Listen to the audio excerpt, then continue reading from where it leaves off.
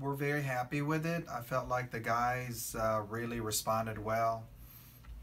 We were a little bit down, honestly, uh, after that North Carolina uh, match. We felt like we didn't put our uh, best tennis out there, especially in doubles and three through six singles. That they would tell you the same thing.